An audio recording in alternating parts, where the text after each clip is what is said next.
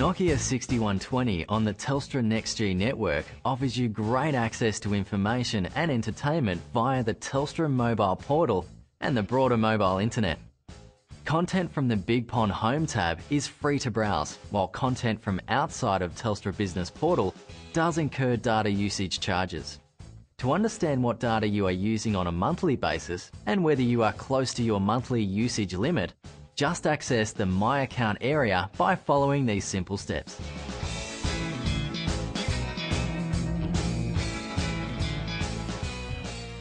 Step 1. Click on the Big Pond button. Step 2. Click down through the icons on the Big Pond portal page. Near the very bottom of the page, click the site called My Account. Step 3. On this site, you can check your usage, your purchases, and a lot of other useful information. Step 4.